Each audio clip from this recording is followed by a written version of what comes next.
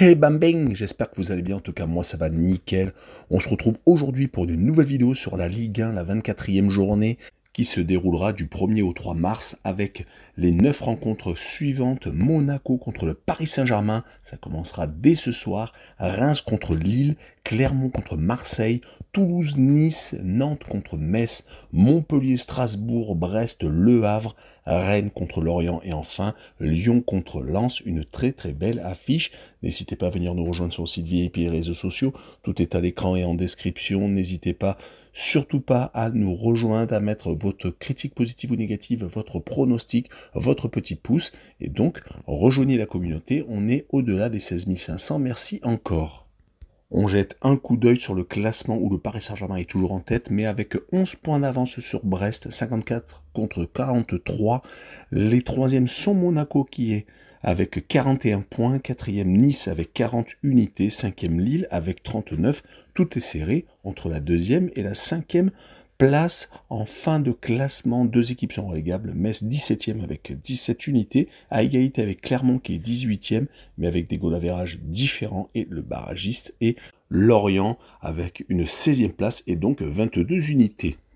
Et on commence par Monaco contre le Paris Saint-Germain. On attaque par la plus grosse affiche de cette journée avec les Monégasques qui sont exceptionnels à l'extérieur, qui viennent de battre tout de même Nice et Lens. Par contre, à la maison, c'est plutôt compliqué avec une défaite contre Reims, un match nul contre Le Havre et dernièrement une défaite contre Toulouse, des équipes qui étaient en plus en difficulté.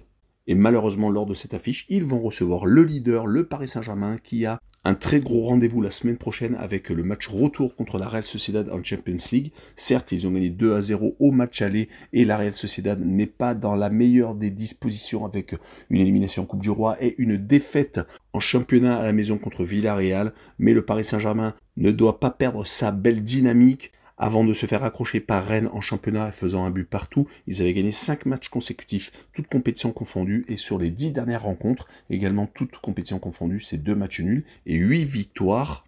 Et on s'aperçoit également qu'ils ont gagné leurs 5 derniers matchs hors de leur base. Donc sur cette rencontre, je vois le Paris Saint-Germain s'imposer 2 buts à 1 avec le draw et le Paris rembourser ses matchs nuls et une cote à 1,55. On poursuit avec Reims contre Lille, le 8 qui reçoit le 5 Il n'y a que 4 points d'écart entre les deux formations. Les Rémois sont également sur courant alternatif, un peu comme Monaco. Ils font de très bons résultats à l'extérieur, comme leur victoire par exemple sur le Rocher, ou dernièrement ils viennent de s'imposer au Havre. Par contre, à la maison, depuis trois rencontres, ils ne s'imposent pas. Ils ont fait match nul contre Lens. Ils ont fait également le partage de points contre Nantes et ils viennent de perdre contre Toulouse 3 buts à 2. C'était le 4 février. C'est vraiment dommage car ils ont vraiment eu de bonnes prestations quand ils se sont déplacés. Mais ils arrivent tout de même à être au milieu de tableau et à être qu'à 4 points de la cinquième place. Ils vont jouer contre des Lillois qui sont également sur courant alternatif. Décidément, c'est un peu la spécialité de beaucoup d'équipes actuellement.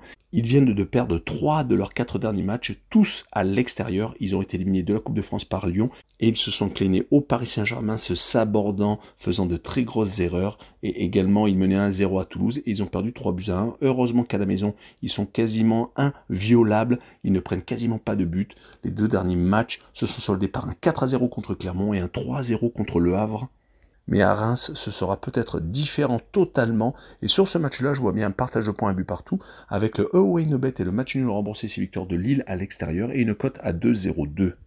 Et on poursuit avec Clermont contre Marseille. Beaucoup de choses à dire sur cette rencontre. Clermont est malheureusement dernier de la Ligue 1. Ils n'arrivent plus à s'imposer et ils s'enfoncent irrémédiablement. Ils n'ont que 5 points de retard, certes, sur Montpellier, mais malheureusement, depuis 6 journées, ils n'ont pris que 3 petits points perdant contre Strasbourg, contre Lille et contre Rennes, faisant quand même quelques matchs nuls intéressants, ce qui peut donner encore quelques points positifs, faisant donc euh, des partages de points contre Strasbourg, Brest et dernièrement à Nice. Et ils vont jouer contre une équipe de Marseille qui vient de se réveiller avec l'arrivée de Gasset à la place de Gattuso. Donc le deuxième changement d'entraîneur, un peu comme Lyon. Ils ont sans doute eu quelques très beaux restes sur les deux derniers matchs, gagnant 3 buts à 1 contre le Shakhtar Donetsk et se qualifiant pour les huitièmes de finale.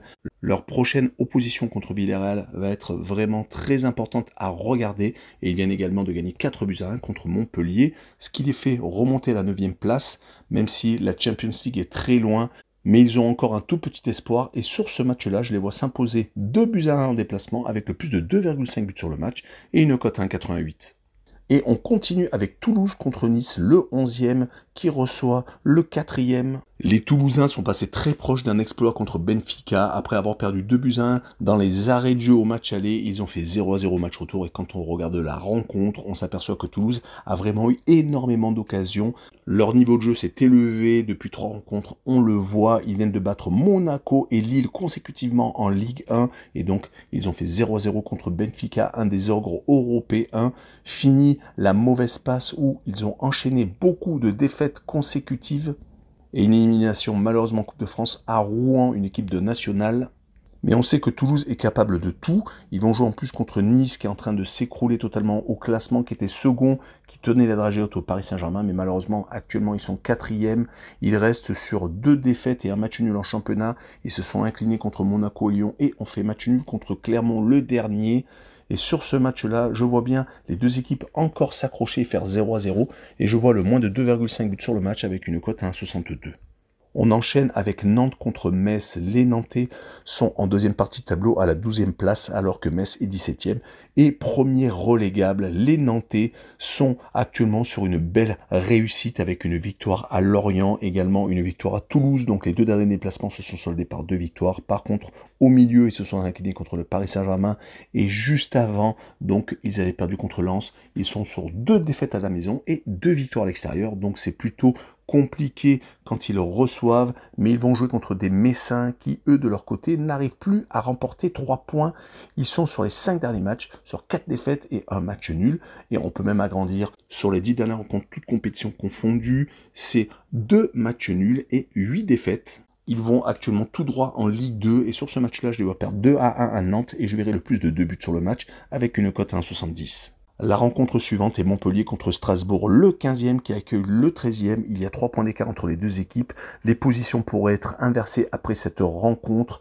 Les deux formations ont la même dynamique, une victoire sur les cinq derniers matchs, toutes compétitions confondues. Montpellier c'était en championnat contre Metz, alors que Strasbourg avait battu Le Havre en Coupe de France. Malheureusement, une élimination donc pour les joueurs de Patrick Vieira à Lyon, c'était en milieu de semaine au penalty en plus. Ils avaient réussi à tenir la dragée haute au Rodanien, faisant donc 0 à 0 après 90 minutes de jeu. Malheureusement en Ligue 1, donc il reste sur trois revers contre Lens, Lorient et Brest. Du côté de Montpellier, ils viennent de perdre sèchement à Marseille on a vu une classe d'écart. Ils avaient également perdu leurs deux matchs d'avant à la maison en Coupe de France contre Nice et contre Lyon. Mon pronostic sera un match nul, un but partout avec les deux équipes qui marquent et une cote à 1,77. La rencontre suivante est Brest contre Le Havre. Une rencontre qui sera pour moi très déséquilibrée avec le second qui accueille une des équipes qui est en difficulté, qui ne s'en sort plus, Le Havre qui est 14e les Brestois sont sur une série d'invincibilité en Ligue 1 très intéressante. Ils n'ont même pas perdu au Paris Saint-Germain. Ils ont, sur les deux derniers matchs, remporté une victoire contre Marseille et dernièrement à Strasbourg, qui ne souffre d'aucune contestation. Et sur les dix derniers matchs dans l'élite, c'est six victoires et quatre matchs nuls. À la maison, ils restent même sur 4 clean sheets consécutifs et ils vont jouer contre une équipe du Havre qui reste sur 4 défaites consécutives, toute compétition confondue, qui a été éliminée de la Coupe de France par Strasbourg et qui viennent de perdre contre Rennes, Reims et Lille. Malheureusement pour eux, ça commence à sentir le moisi. Heureusement qu'il y a des équipes qui ont encore moins de résultats qu'eux, car ils ont tout de même encore sur le premier relégable 7 points d'avance et sur le barragiste deux petites unités. Sur ce match-là, je vois Brest, bien entendu, s'imposer 2 à 0 et je verrai les deux équipes qui ne marquent pas et une cote à 1,72. On continue avec Rennes contre Lorient, une très belle affiche entre le 7e et le 16e. Donc il y a entre les deux formations 13 points d'écart. Les Rennais sont sur une forme ascendante. Ils viennent de se qualifier en Coupe de France hier soir, gagnant 3 buts à 1 au Puy. Une équipe de National 2. Ils avaient tenu la dragée au Paris Saint-Germain, ne perdant 2 points en fin de rencontre sur un penalty. Ils avaient également perdu contre le Milan AC, se faisant éliminer de Ligue Europa au match aller. Ils avaient été triés 3-0, mais ils ont pris leur revanche au match retour et gagnant 3 buts à 2. Donc, sur les 4 derniers matchs, toutes compétitions confondues, c'est 3 victoires et un match nul. Du côté des Lorientais, on avait vu une énorme embellie avec l'arrivée de Bamba, un attaquant qui avait réussi à marquer beaucoup de buts sur les dernières rencontres. Ils avaient enchaîné trois succès consécutifs contre Metz, Reims et contre Strasbourg, mais malheureusement, ils ont chuté à la maison contre Nantes, perdant un but à zéro. Ils vont essayer de récupérer quelques chose à Rennes, mais cela va être très compliqué pour moi et je les vois perdre 3 buts à 1 et je verrai les joueurs de Julien Stéphan marquer le plus de 1,5 buts sur le match avec une cote à 1,55. Et on finira par Lyon contre Lens. Les Lyonnais font une remontée fantastique. Ils sont maintenant dixièmes alors qu'ils étaient encore peu relégables, mais ils ont fait un mercato d'hiver de feu avec des joueurs qui sont en train de changer totalement le visage de la formation rodanienne avec Ben Rama, bien entendu, et Matic, qui est, avec sa tranquillité au milieu de terrain, en train de stabiliser toute l'équipe. Ils ont, sur les cinq derniers matchs, toutes compétitions confondues, gagné tout simplement toutes leurs rencontres. Ils sont qualifiés pour les demi-finales de la Coupe de France. Ils viennent de battre consécutivement Montpellier, Nice et Metz, faisant des fois des renversements de situation qui montrent le caractère actuel de l'équipe. Attention tout de même car la casette est sortie blessée du match contre Strasbourg. Ils vont jouer contre une équipe de Lens qui vient de perdre sa qualification pour les huitièmes de finale de la Ligue Europa bêtement alors qu'ils menaient 2 à 0 à la mi-temps à Fribourg. Ils ont été renversés, finalement ont perdu en prolongation.